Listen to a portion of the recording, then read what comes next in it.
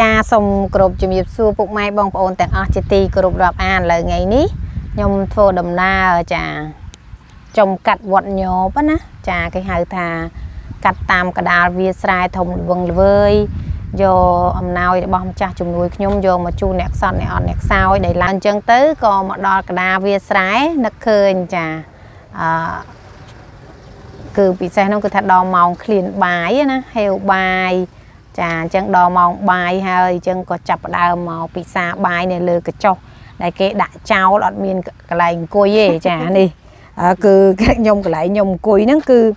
បែបប្រហោងប្រហោងណាចាហើយមានតែមួយប្រទេសប៉ុណ្ណេះទេសម្រាប់ដាក់ដាក់បាយដាក់ម្ហូបហ្នឹងហើយសម្រាប់ញ៉ាំអញ្ចឹង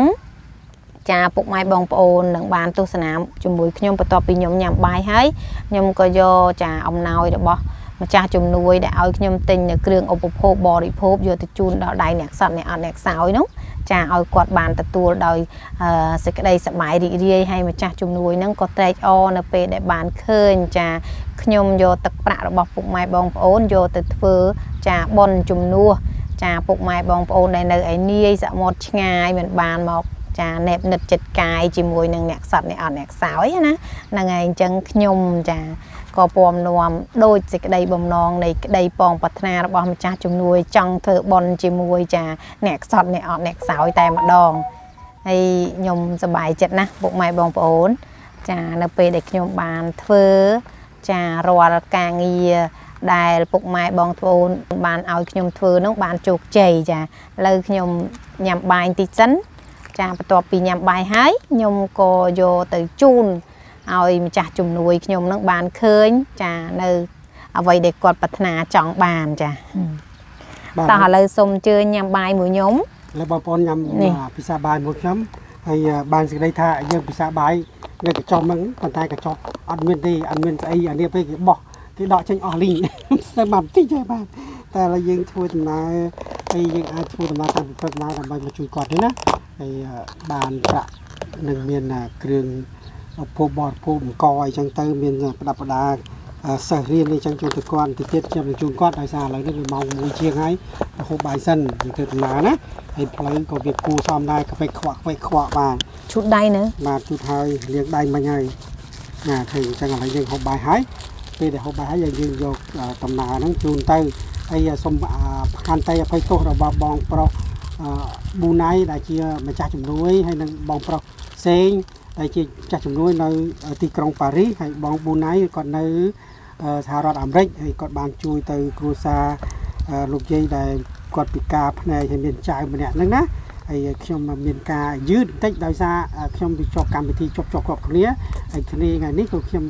មកជូនគាត់ថ្ងៃនេះតែម្ដងទៅហើយគាត់ថាថាវិការផបងនេះខ្ញុំប្រើឲ្យអស់គ្មានសល់ទេគឺតែទិញចាត់ចែងអ្វីដែលបងប្រាប់ទិញតាំងពីសភៅតាំងពី សម្លៀកបំពាក់ទិញតាំងពីមហូបអាហារអីទាំងអស់បាទបាទមករួចខ្លួនទៅវិញបាទតែឡើយជួយភាសាបាយមកនេះឆ្ងាញ់បាទខ្ញុំឃ្លានបាយហើយខ្ញុំហូបហើយចាចានេះវិញគឺសម្លស្ងោរតឡាជាមួយឆ្អឹងជំនីជ្រូកចានេះចាអាហារងាយងាយគឺថាញ៉ាំម្ហូបនេះគឺសល់ពីល្ងាចអឺ សឡយើងស្លពេលល្ងាចណានៅសល់ចឹងទៅក៏វិចដកចាសម្រាប់ញ៉ាំថ្ងៃត្រង់ថ្ងៃនេះឯងព្រោះថាឡើយតែធ្វើម្ហូបធ្វើអាហារទៀតវាយូរម៉ោងអញ្ចឹងការងារវាច្រើនខ្ញុំត្រូវយើងចេះចាគឺថាចេះឆ្លៀតពេលវេលាយើងស្លពីល្ងាចចឹងទៅទុកថ្ងៃត្រង់យើងញ៉ាំទៅបានម្ហូបទឹកខ្លះកុំឲ្យតែយើងញ៉ាំតែបាយជាមួយសាច់ជ្រូកចៀនសាច់ជ្រូកចៀនក្រៀមក្រាស់ក្រៀមក្រាស់រហូតណាបងប្អូនណា អញ្ចឹងយើងត្រូវមានសឡទឹកមកជាមួយហ្នឹងហើយចាក៏សូមអញ្ជើញពុកម៉ែបងប្អូនមកញ៉ាំបាយជាមួយខ្ញុំណាបងឯងសូបហ៎អូខេដាក់សាច់ទេអឺ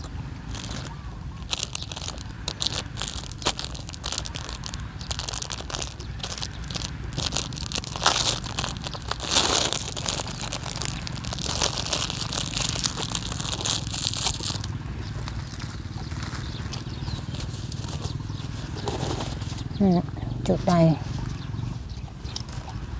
យ៉ាត់ប៉ើងអូយ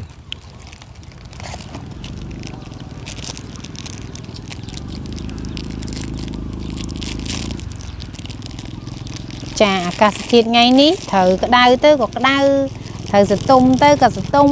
ចាគឺថាបរិយាកាសណោយផលបន្តិចចាត្រង់តែមានក្តៅមានត្រជាក់ណាហ្នឹងហើយ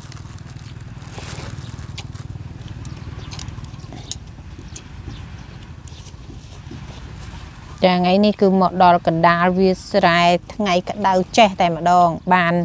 អឺជ្រកចាក្រោមម្លប់ស្បូវហើយម្លប់ស្បូវហ្នឹងគឺម្លប់កញ្ចុះរបស់គេណាហ្នឹងហើយគេដាក់ចោលអញ្ចឹងទៅវាពុកបាក់អស់ហើយប៉ុន្តែយ៉ាងណាក៏បានដបូលម្លប់ដែរគ្រាន់យើងបានជ្រកណាចាទៅនេះជ្រកនេះទៅនោះជ្រកនោះមកចុកមកចុកមកចុកអញ្ចឹងទៅឲ្យបានរួចការងារមួយថ្ងៃមួយថ្ងៃចា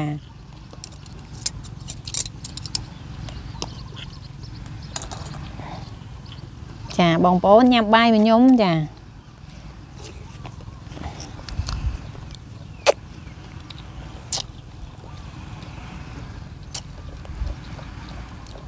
ហ្នឹងហើយពេលញ៉ាំបាយអញ្ចឹងហើយអង្គុយនៅពីមុខឃើញដើមថ្នោតហើយ background ខាងក្រោយហ្នឹងឃើញវាលងាកទៅឃើញងាកទៅឃើញគោហ្នឹងហើយ ងាកឆ្វេងងាកស្ដាំទៅឃើញសិតតែភ្លឺស្រែវាស្រែមានន័យថាបរិយាកាសគឺថាល្អមែនតើថ្ងៃនេះ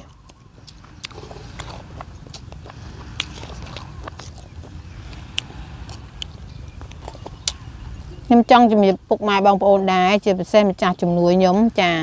អ្វីដែលខ្ញុំធ្វើទាំងអស់នេះ គឺខ្ញុំចង់បង្ហាញឲ្យម្ចាស់ជំនួយខ្ញុំ ចាគាត់បានជ្រាប ហើយម្យ៉ាងទៀតនោះគឺខ្ញុំចង់ឲ្យម្ចាស់ជំនួយខ្ញុំសប្បាយចិត្តនៅពេលដែល អ្វីដែលគាត់ចង់ប្រាថ្នាចង់ធ្វើណាចាបានសម្រេចណាគឺគាត់ត្រេកអរសប្បាយចិត្តអញ្ចឹងហើយចង់ឲ្យគាត់បានបនធំបិណ្ឌបេកបិណ្ដីហ្នឹងហើយឲ្យគាត់សប្បាយចិត្តក្រៃហើយឲ្យគាត់កើនអាយុជួយឲ្យគាត់នឹងកើនសម្រស់ក្មេងជាងវ័យដែរចា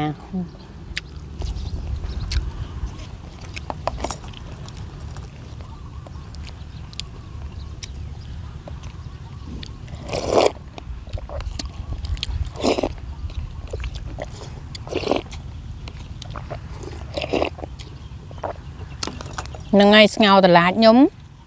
ខ្ញុំស្ងោរជាមួយនឹងឆ្អឹងជំនីខ្ចីហើយយើងស្ងោរតឡាចយើងដាក់អឺឆៃពៅណាឆៃពៅប្រៃចូលមកកង់ប៉ុណ្ណេះទៅវាមានជាតិមែនតែនហើយដាក់ហើយប៊ីយឺហឺទៅគឺថាមានជាតិណាញ៉ាំទៅដឹងថាឆ្ងាញ់ហ្មងចា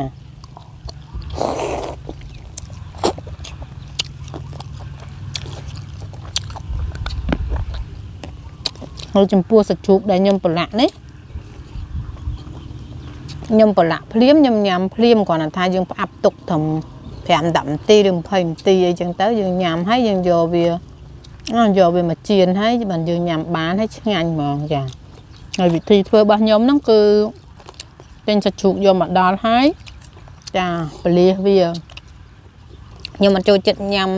សាច់ជ្រូកស្ដើងស្ដើងទេខ្ញុំចូលចិត្តភ្លាវារៀងក្រាស់ក្រាស់ តបមកយើងដាក់ប្រេងខ្យងម្សៅស៊ុបខ្នុរទឹកស៊ីអ៊ីវចាជាមួយស្ករអំបិលហើយប្រឡាក់ចូលទៅរួចយើងទុកវាមួយសន្ទុះទៅបានយើងយកវាមកចៀនចាចៀនហ្នឹងយើងដាក់ភ្លើងតិចតិចបានហើយយើងរំងាស់ពេលដែលយើងចៀនទៅទឹកនឹងវាឡើងណាបងប្អូនណាកាលណាវាឡើងទៅចាវា មិនទាន់ជក់ទឹកអញ្ចឹងទឹកអត់ទាន់ចូលជាតិទេសាច់ជ្រូកអត់ទាន់ចូលជាតិដល់ពេលទឹកនឹងចូលអឺចូលទឹកជាមួយនឹងសាច់ជ្រូកទៅវាចូលជាតិចាយើងធ្វើម៉េចឲ្យវារីងទឹកដល់គេពេលវារីងទឹកឃើញសាច់ជ្រូកយើងគូឆ្ងាញ់មែនតើចាមើលទៅគួរឲ្យចង់ញ៉ាំហ្មងហ្នឹងហើយនេះរបៀបធ្វើរបស់ខ្ញុំគឺខ្ញុំធ្វើបែបនេះឯងចាងប់ត្រជាក់ប៉ុន្តែគាត់អត់មានកន្លែងអង្គុយ គេអង្គុយបាក់ក្រែអស់ហើយពួកនេះអង្គុយអង្គុយចាប់បាក់តិចទីអស់នេះទៅ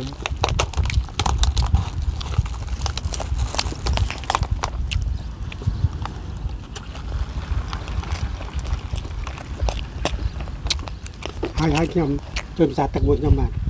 អឺធ្វើកិច្ចការលឿនហូបក៏លឿនណាស់បាទ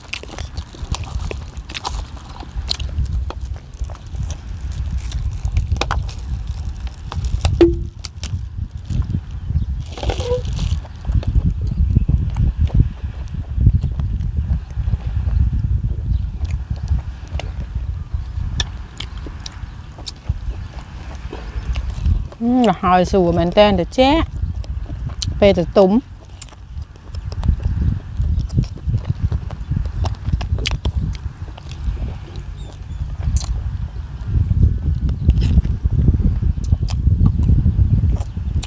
មានតែរៀនឡាប់ពេលក៏ចូលហ្នឹង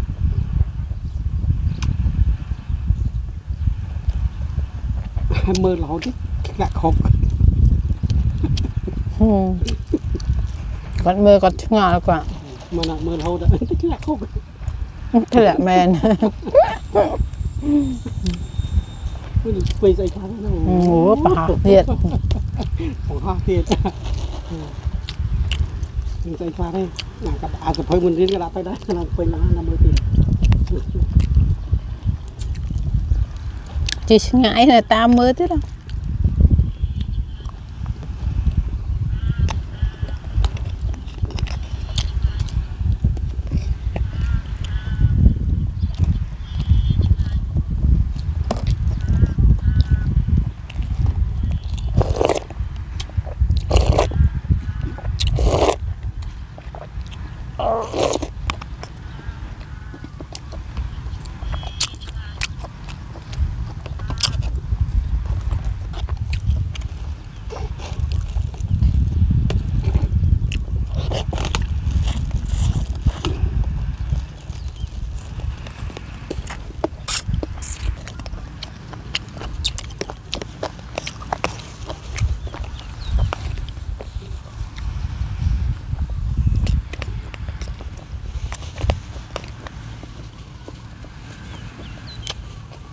ហ៎បាទឥឡូវវាចូលខែ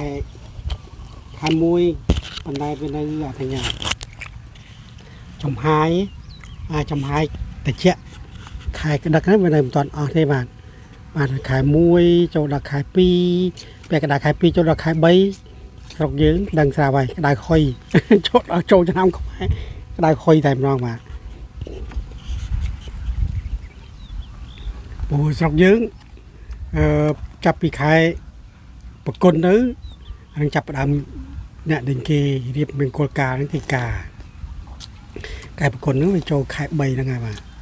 ដល់ពេលការអញ្ចឹងទៅខែ4អញ្ចឹងទៅគេចូលឆ្នាំចូលឆ្នាំខែ4មានធ្លាក់កក់កក់ខែណាព្រាកក់ខែហើយដល់កក់ខែខែ4ខែ5ខែ6ហ្នឹងចាប់ផ្ដើមគេរស់ជួររស់បាទជួររស់ហើយអញ្ចឹងតាមសុខស្រែចម្ការហ្នឹងណា ពួកខ្ញុំដឹងច្បាស់ពួកខ្ញុំធ្វើស្រែខ្ញុំដឹងនៅពេលណាដែលញ៉ាខែ4អញ្ចឹងឬក៏ខែហ្នឹងអាខែរដូវនៅខ្យល់លហើយលហើយអញ្ចឹងហើយខ្ញុំដើរកាប់ពីក្មេងៗខ្ញុំដើរទៅវែកជ្រាំងមានបឹងមួយធំអញ្ចឹងទៅដល់ពេលបឹងហ្នឹងវារីងទឹកអស់វានៅភក់ភក់ហើយវាបែកកហែងណាហើយយើងដើរវែងជ្រាំងដល់ពេលវែងជ្រាំងទៅវាឃើញអានេះមានមានអាអាប្តីហ្នឹងវាដើរវាស្មើអញ្ចឹង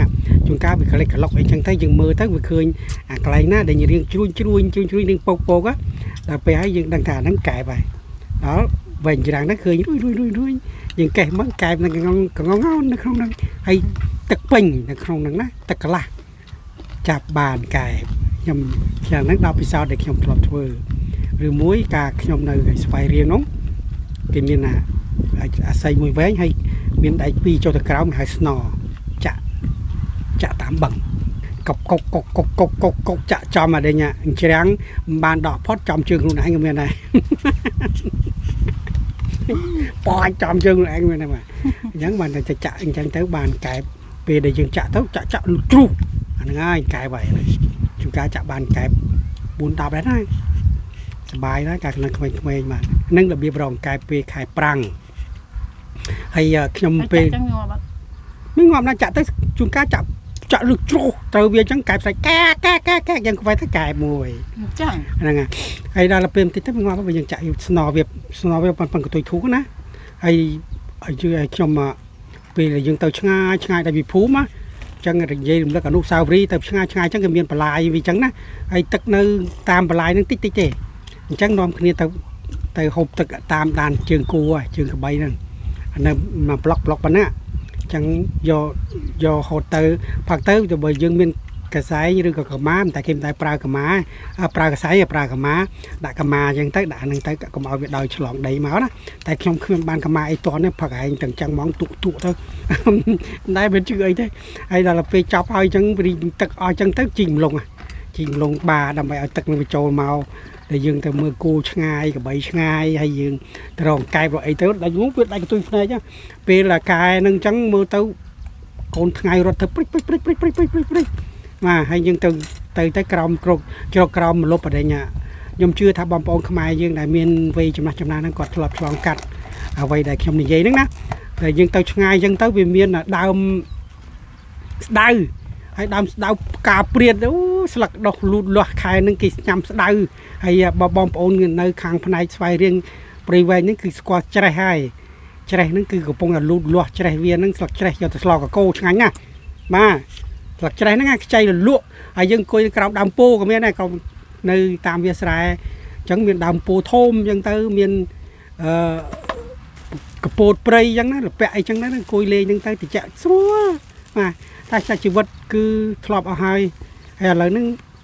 មកហូបបាយរបៀបម៉េចក៏ខ្ញុំធ្លាប់ដែរអ្វីតែខ្ញុំឆ្លងកាត់អញ្ចឹងហើយបានតែខ្ញុំ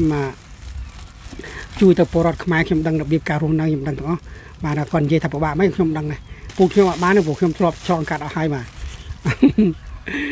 អើយជួនកាលផឹកតែមានទឹកផឹកអីបានត្រឹមត្រូវគេផឹកអានេះទឹកទឹកតាមកញ្ចក់ជើងគូបាទហើយបើយើងទៅធ្វើដងអីទុកអញ្ចឹងទៅយើងមកថ្ងៃក្រោយអញ្ចឹងបានទឹកហ្នឹងបានហូប តែបើបានទៅទៅកន្លែងផ្សេងគឺកញ្ចក់ជើងគោផឹកហើយខ្ញុំមើលគោខ្ញុំមើលគោពីរកាលនោះខ្ញុំមានគោខ្ញុំមួយឈ្មោះអាពីលមួយឈ្មោះអាសុកអាសុករៀងឆ្ងាយកែកវែងបន្តិចអាពីលឆ្ងាយខ្លីហើយតែដើមស្រួលវាធាក់បែកបែកកភ្លៅអានោះគោធាក់អត់បានទេតែវា វាអត់ស្គាល់ឬក៏វាភ្ញាក់អីយើងទៅមិនបានប្រាប់វាមុនធាក់អីម៉ាំងទៀតឡើយហើយវាស្គាល់មនុស្សយើងស្គាល់មកចាវាស់ស្គាល់វាស្គាល់តែថ្ងៃណាវាមូម៉ៅវាមូម៉ៅវាធាក់យើងធាក់មកជើងយើងចុកដេកផ្ងាពោះហើយហើយពូពូចេះមួម៉ៅដែរហុយវាដូចតែយើងហ្នឹងវាខឹងដូចតែយើងដែរហ្នឹងតែវាស៊ីមិនឆ្អែតអីចឹងទៅវាខឹងយើងដេញវាឲ្យវាស៊ីអីចឹងទៅវាធាក់អញម៉ាំងអូមិនដែលដឹងថាគោចេះមួម៉ៅហើយថាធាក់ធាក់មកជើងវាឈឺណាបើថាអឺអឺ ធាក់ធាក់យើងតែយើងមិនកិច្ចខ្ញុំកិច្ចទៅញយខ្ញុំមិនដឹងវាធាក់ខ្ញុំកិច្ចគោធាក់វាធាក់វាធាក់ម៉ាំងលឿនចឹងហើយបើថាអឺមានឆ្កែមានអីធាក់ត្រូវឆ្កែឆ្កែខ្ទាត2ម៉ែត្រនោះអូស្រែកស្លាប់ហ៎ស្លោយវាឆ្កែស្រែកចកចកចកចឹងដែរបាទគឺអីស្អីគេឆ្កែវាស្រែងកាលនោះកាលនោះអាកាលនោះខ្ញុំមានឆ្កែដែរចាំឆ្កែកាលនោះនៅផ្ទះខ្ញុំនៅផ្ទះគេណាហើយមានឆ្កែហ្នឹងអាឆ្កែនោះមកតាមខ្ញុំចឹងឲ្យទៅចោលដុំដីចឹងរត់តាមណា ចង់បង្ហឹសឲ្យវាទៅចាប់កដោកដោនៅតាមស្រែអាកដោកដោស្រែវាស៊ីស្រូវច្រើនណាស់កដោអាឆ្កែមករត់រត់ទិញខ្ញុំសុបាយដែរហ្នឹងមានសាយមានអីរត់ចូលព្រៃចឹងណាអើយសុបាយណាស់នៅក្មេងៗហើយគ្មានដឹងក្តៅគ្មានដឹងអីទេគឺក្តៅក្តៅមិនក៏ដើរទៅអញតែមានស្បែកជើងទេស្បែកជើងជើងជើងវាទៅជាទៅជីស្បែកជើងហើយហើយជើងបលាមុតសោះមើលមកខ្ជិលជុះទៀតណាអូយក្រិនហ្នឹងចឹងវាក្រិនជើងក៏ដើរ បលាលពាក់រុកលពាក់បេះលពាក់ស្មានឹងទាំងទៅចូលព្រៃជីកទំលងអាទំលងអាទំលងព្រៃយកមកស្ងោយកមកដិតនឹងវាលអញ្ចឹងហើយយើងទៅទៅអមថាកពតលពាក់មួយធំអញ្ចឹងយើងចូលទៅជួនកាលទៅឃើញមានឃុំដិតឃុំយកទៅបើគ្មានឃុំយើងឃើញមានអាទំលងអាទំលងព្រៃហ្នឹងយើងជីកជីកហើយយើងយកទំលងហ្នឹងយកទៅដិតដិតហ្នឹងយកអានេះគល់ជ្រាំងហ្នឹងឬក៏កាច់មែកឈើក្បែរក្បែរហ្នឹងអាណាបាក់បាក់ហ្នឹងយកមកដិតគួយជុំគ្នាហ្នឹង កាលនោះហៅអឺគួយជុំហូបអរិញតំឡងហ្នឹងទៅម្យ៉ាងដែរហើយមាត់ប្រឡាក់អីសិតអរិញខ្ជុងអញ្ចឹងទៅប្រឡាក់ផែប្រឡាក់អីអញ្ចឹងទៅហើយដល់ពេលបងឯងដិតដិតនៅណាដិតនៅនៅតាមក្តៅវាហ្នឹងហ្នឹងមកណានៅវាចឹងមានយកដេកកេះយកទៅបត់ដែរដៃកេះស្អីអានោះមានអាបើបើកាលពីសម័យនោះមិនទាន់មានដៃកេះអីត្រឹមត្រូវសបោហូហៀអាដៃកេះយើងបញ្ចូលហ្គាសហ្នឹងទេអាស្អីដៃឆឹកគេគេមានពងសៃមួយហើយមានអា មានអាគេសំឡីដាក់អាដេញកោនៅក្នុងហ្នឹងហើយគេដាក់អំបែងកែវហើយដែកមួយចឹងឆឹកឆឹកឆឹកឆឹកវាវាអាអាដេញអាពផ្កាភ្លើងនោះធ្លាក់មកអត់ដេញអត់ដេញចលៃហ្នឹងកោកោទៅដល់ទៅហើយវាចាប់ផ្លាផ្កាភ្លើងដាក់ប៉ោចដល់ពេលអញ្ចឹងទៅវាវាឆេះខ້อยៗផ្លុំផ្លុំផ្លុំមកផ្លុំផ្លុំផ្កាភ្លើងណាអូអញ្ចឹងយើងកាត់ភ្លើងម៉ាប់ហ្នឹងហ្នឹងហើយមានភ្លើងមកពីណាកាលក្នុងសម័យក្នុងហើយចុះឥឡូវអ៊ំម៉ាឲ្យប្រកាសអញ្ចឹងចេះហ៎ តែមិនចេះបើខ្ញុំធ្លាប់ធ្វើទាំងអស់ហើយដល់ទៅពេលពីឆ្នាំអាឆ្នាំ80 79 80មកអឺឆ្នាំចូលដល់ចិត្ត90ហើយខ្ញុំទៅនៅផ្ទះអឺពូខ្ញុំហ៎មានទេបើថាគាត់គាត់បើកគួរបង្រៀនហើយវាដាច់ភ្លើងបើពេលដាច់ភ្លើងខ្ញុំសប់ម៉ាំងសុងឡើងហុយដីម៉ាំងសុងណាតែមិញក្មេងឡើយអត់ស្គាល់ទេម៉ាំងសុងសប់ទាំងអស់គ្រប់តបតបម៉ាំងសុងសប់នំវាឆេះ ហើយម៉ាំងសុងបន្តិចណាមសុងម៉ាំងសុងដង5ហ៎ហើយគាត់អឺគាត់បរៀនគួរនោះកាលនោះហើយគាត់អើគាត់គាត់គ្មានអីដែរហើយទៅទិញម៉ាំងសុងខ្ញុំស្គាល់ម៉ាំងសុងតឥឡូវនេះឆ្កែតិចបងឯងនិយាយខ្ញុំស្គាល់ម៉ាំងសុងតឥឡូវនេះចេះសប់ម៉ាំងសុងណាតែឥឡូវរមអាចដែរឃើញម៉ាំងសុងទេបាត់ហើយឥឡូវហើយអឺបើសិនជាក្មេងៗឥឡូវក៏គាត់មិនស្គាល់ដែរអានេះម៉ាំងសុងណានេះនេះម៉ាំងសុងដែលយើងអ่ะយើងអាសប់ដើម្បីឲ្យភ្លឺតែអាម៉ាំងសុងហ្នឹងសប់ទៅវាដូចចេញហ្គាសចឹងភ្លឺអានោះភ្លឺហ៎អញ្ចឹង ភ្លឺដាក់តែមួយភ្លឺពេញផ្ទះចឹងហើយគាត់បង្រៀនចឹងហើយខ្ញុំហ្នឹងតែសាក់តែតែតែដាច់ភ្លើងកាលនោះវាស្រុកយើងវាមិនទាន់មានអីជឿនលឿនដូចឥឡូវតិចដាច់ភ្លើងតិចដាច់ភ្លើងហើយសពតែម៉ាំងសុងចង់ងាប់ហើយចាំមិនថាវេទនាស្អីក៏ដឹងអស់ហើយបើបើបើដល់ពេលគេចាប់ចឹងខ្លាចអស់ប្រេងកាតច្រើនពេកដិតចង្គៀងហើយហើយមកយប់នោះគេបានដេកទៅវាអត់ភ្លើងក៏ដៅចង់ដាច់ខ្យល់ដេកលើតុហ្នឹងហើយប្រវត្តិខ្ញុំវិញមិនដែលបានស្រួលអីគេទេ បាទអញ្ចឹងបានខ្ញុំមិនណិតដេកតែលើតុហ្នឹងជួនកាលដេកលើតុហ្នឹងខ្ញុំយកសពទៅវិញវិញតែភ្ញាក់ឡើងនៅនោះនៅគៀនទ្វារចុះតែ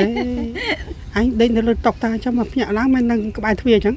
ហ្នឹងបើសុនទ្វារចាក់កុំចាក់សោបទឹកខ្ញុំទៅដល់ហើយដេកលើតុឲ្យតុកប៉ុណ្្នឹងដេកតែមកចោះខ្លួនទេហើយចាំអាចចេះធ្លាក់ដែរណាអាហ្នឹងបើសិនជា យើងដេកបង្រាស់ដោយកូនគេបានហ្នឹងធ្លាក់លើតុញ៉ាំងណាញ៉ាំងហ្នឹងហើយឥឡូវអឺយើងហើយនិបញ្ចយាប់យលេងហើយហើយយើងចាំបាយហើយហើយអញ្ចឹងយើងក៏សូមគ្រប់លំអរកាយជំរាបលាពុកម៉ែបងប្អូនទាំងអស់គ្នាតែត្រឹមនេះហើយសន្យាជួបពុកម៉ែបងប្អូនវិញនៅវីដេអូថ្មីថ្មីបន្តបន្តទៀតចាបងប្អូនចង់ដឹងជីវិតពិតរបស់ខ្មែរយើង ចាចង់ដឹងទេសភាពក៏ដូចជាធម្មជាតិនៅស្រុកខ្មែរចង់ដឹងទីកន្លែងដែលយើងខ្ញុំទៅដល់សូមគោរពអញ្ជើញពុកម៉ែបងប្អូនទាំងអស់គ្នាចា តាមដាននិងទស្សនាវីដេអូរបស់យើងខ្ញុំយើងខ្ញុំតែងតែចាធ្វើជារៀងរាល់ថ្ងៃដើម្បីចែករំលែកឲ្យពុកម៉ែបងប្អូនទាំងអស់គ្នាបានទស្សនានិងកំសាន្តហើយក៏មានលាយលាលាយឡំជាមួយនឹងភាពសោកសៅខ្លះខ្លះៗអញ្ចឹងភាពសោកសៅទាំងអស់នេះហើយពុកម៉ែបងប្អូនចាអឺក៏អាចចាញញឹមវិញនៅពេលដែលយើងខ្ញុំចាទៅទីកន្លែងដែលមានទេសភាពបរិយាកាសល្អល្អហ្នឹងហើយអញ្ចឹងអឺរសជាតិនៃជីវិតចង់ដឹង ទស្សនាតាមរយៈវីដេអូរបស់យើងខ្ញុំចាគឺយើងខ្ញុំតែងតែពំនាំយកនៅគ្រប់រសជាតិឲ្យពុកម៉ែបងប្អូនបានជ្រាបចាទាំងអស់គ្នាហើយខ្ញុំក៏សូមអរគុណហើយបងមានពាក្យពេចន៍អីជូនពរជ័យទៅដល់ម្ចាស់ជំនួយបង បាទសូមអ่าខន្តីអភ័យទោសផង ដែលខ្ញុំបានអឺរៀបរាប់ហោហែរឿងជីវិតដែលខ្ញុំជួបប្រទះហ្នឹងណាហើយនៅមានច្រើនទៀតហើយខ្ញុំនឹងរៀបរាប់ប្រាប់បងប្អូនម្ដងតិចម្ដងតិចពីអ្វីដែលខ្ញុំធ្លាប់ជួបអឺ ជីវិតក្មេងកំព្រាតែនៅអឺតាមផ្ទះគេហ្នឹងគឺថាវេទនាសម្បើមណាស់បាទគឺអឺរកតែខោអាវស្លៀកមិនបានផងជួនកាលទៅខ្ញុំមានកៅអៅមកកំ pl ហ្នឹងខ្ញុំស្លៀកមួយអាទិត្យហើយប្រយុទ្ធឡើងបោកយើងទៅទៅរៀនអញ្ចឹងវេទនាខ្លាំងណាស់ជីវិតខ្ញុំហ្នឹងបានហើយខ្ញុំដឹងពីអឺអ្វីដែលបងប្អូនខ្មែរដែលពិបាកអញ្ចឹងហើយបានតែខ្ញុំអឺ ជួយប្រជាពលរដ្ឋខ្មែរហ្នឹងគឺជួយចេញពីបេះដូងខ្លួនឯងមិនមានអ្នកណាបង្ខំខ្ញុំទេដោយសារអាជីវិតពិបាកហ្នឹងវាឆ្លងកាត់ច្រើនហើយនៅពេលណាអឺយើងនៅជាមួយគេគេមានអីហូបអញ្ចឹងហើយគេឲ្យគេអត់ឲ្យយើងហូបទេយើងសុខចិត្តនៅមើលគេធ្វើភ្លៀកភ្លៀកភ្លៀកភ្លៀកអានឹងជឿចាប់ណា ហើយខ្ញុំនៅចាំនៅក្នុងខួរក្បាលខ្ញុំដែលគេធ្វើអឺអំពើមកលើយើងប៉ុន្តែ យើងក៏ថ្លែងអំណរគុណគេដែរបើដែលគេបានចិញ្ចឹមយើង តែគាត់ថាយើងវាមិនបានបបោដូចកូនគេហ្នឹងណាបាទឥឡូវអឺខ្ញុំអឺសូមបញ្ចប់ត្រឹមហ្នឹងហើយអឺសូមចិត្តបងប្អូនបើសិនបងប្អូនណាដែលបានអឺមើលវីដេអូខ្ញុំហើយចង់ដឹងអឺរឿងភាគបន្តទៀតអឺផ្សេងផ្សេងៗទៅជួយប្រជាពលរដ្ឋខ្មែរសូមកុំភ្លេចជួយចុច Subscribe ហើយនឹងចុចកណ្ដឹងនឹងបានទទួលព័ត៌មានថ្មីថ្មីៗជារៀងរាល់ថ្ងៃអឺខ្ញុំនឹងខិតខំធ្វើកិច្ចការជួយប្រជាពលរដ្ឋខ្មែរឲ្យតែខ្មែរយើងទាំងអស់ឲ្យតែមានជីវភាពអឺក្រីក្រខ្សត់ខ្សោយទូទាំងអឺប្រទេសហើយអញ្ចឹងហើយខ្ញុំក៏មានអាសំណូមពរមួយដែរមានអាបងប្អូនខ្មែរយើងគាត់នៅអាខេត្តបៃលិនក៏ដូចជានៅខេត្តស្វាយរៀងស្រុករមាសហែកហើយដូចជានៅឆ្ងាយឆ្ងាយតំបន់ឆ្ងាយដូចជានៅស្ទឹងត្រែងដូចជានៅកញ្ចេះអឺឆ្ងាយឆ្ងាយពេកហើយខ្ញុំអត់មានអាប្រាក់ដើម្បីធ្វើដំណើរ ដោយសារបងប្អូនខ្មែរយើងគាត់ឲ្យសហួយខ្ញុំនឹងបានថាអាខ្លះឲ្យទៅខ្លះក៏អត់ចឹងទៅខ្ញុំក៏ធ្វើដំណើរខ្លួនឯងចឹងទៅប៉ុន្តែខ្ញុំចង់ជួយអឺចង់ចង់ជួយទៅបងប្អូនឆ្ងាយឆ្ងាយគាត់តាក់ទងមកខ្ញុំថាគាត់អត់ណាស់មាននៅប៉ៃលិនក៏មានមាននៅអឺឧត្តរមានជ័យក៏មានដែរបានអញ្ចឹងខ្ញុំអត់មានលទ្ធភាពទៅដោយសារ ត្រូវចំណាយអឺប្រាក់ខ្លួនឯងហ្នឹងយើងទាំងពីការហូបចុកទាំងថ្លៃសាំងឡានថ្លៃហូបចុកអញ្ចឹងអាហ្នឹងវាពិបាកអញ្ចឹងណាតែតាមចិត្តរបស់ខ្ញុំហ្នឹងខ្ញុំចង់ជួយទាំងអស់ឲ្យតែខ្មែរប៉ុន្តែអាហ្នឹងអាជាព័ត៌មានជំរាបទៅបងប្អូនណាអាហ្នឹងអឺសូមទឹកអឺមេត្តាថាអ្វីដែលខ្ញុំបានទទួលប្រាក់បងប្អូនខ្ញុំនឹងធ្វើទាល់តែអស់ប៉ុន្តែគាត់ថាខ្ញុំធ្វើឆ្លាស់គ្នាអញ្ចឹងខន្តីសូមអរគុណសូមជម្រាបលាបាទ ហើយក៏ចង់ជម្រាបបន្ថែមដែរថាអឺគ្រប់យ៉ាងចាអឺដែលយើងខ្ញុំធ្វើទាំងអស់នេះគឺសិតតែផុសចេញពីបេះដូងទាំងអស់យ៉ាងណាមិញឲ្យតែយើងទៅជួបអ្នកសត្វអ្នកអត់អ្នកខ្សោយឲ្យគាត់បានហូបឆ្ងាញ់មកពេលក៏សប្បាយចិត្តចាក៏ជាបុណ្យកុសលដែលយើងគ្រប់គ្នាស្ពាយទៅវិញដែរចាបើទោះជាចាអឺទឹកប្រាក់ដែលយើងជូននឹងចាបានគាត់ឆ្ងាញ់មកពេលក៏ដោយចាដូច្នេះ ខ្ញុំគ្មានអ្វីក្រៅពីលើកម្រាមដៃ10ប្រសពឡើងលើសូមគ្រប់ជូនពរជ័យទៅដល់ម្ចាស់ជំនួយថ្នាថ្លៃរបស់ខ្ញុំទាំងអស់គ្នាដែលមានបេះដូងជាខ្មែរចង់បរិច្ចាគទឹកប្រាក់របស់ខ្លួនដែលគាត់មានញ៉ាតាមរយៈយើងខ្ញុំឲ្យយើងយើងឲ្យយើងខ្ញុំនឹងយកទឹកប្រាក់នេះយកទៅជូនចាដល់ដៃអ្នកសត្វអ្នកអត់អ្នកខ្សោយឲ្យគាត់បានឆ្ងាញ់មកពេល ខ្ញុំក៏សូមប្រសិទ្ធិពរជ័យជូនទៅដល់គាត់សូមឲ្យគាត់ទាំងអស់គ្នាគ្រប់ក្រុមគ្រួសារជួបនៅពពុទ្ធពធប្រសាងជាពិសេសសូមឲ្យគាត់ជួបនៅអាយុវណ្ណៈសុខៈពលៈនិងបដិភិនៈកំបីឃ្លៀតឃ្លៀតឡើយផលបុណ្យផលទានដែលគាត់បានសាង សូមឲ្យគាត់ចម្រុងចម្រើនរកទទួលទានចេះតែមានបានទៅដល់ទីចិត្តទីឆ្ងាយសូមឲ្យជួបតែមនុស្សល្អល្អ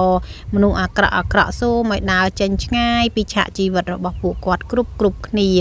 សូមអរគុណសូមជម្រាបលាបាទជម្រាបលាបាទ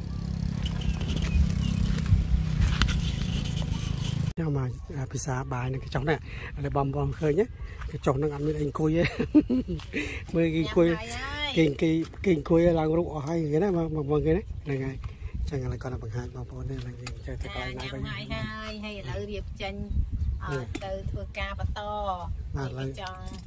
ណាឃើញណាអត់មានអីទេសតិអ៊ូញណា អត់មានអីអង្គុយគេដាក់ចោលតែចោលយើងចេះចូលមកទៅណាវាអត់មានខាតអីទេហ្នឹងហើយអញ្ចឹងឥឡូវជម្រាបលាហើយយើងទៅធ្វើការបន្តទៀតណាបាយ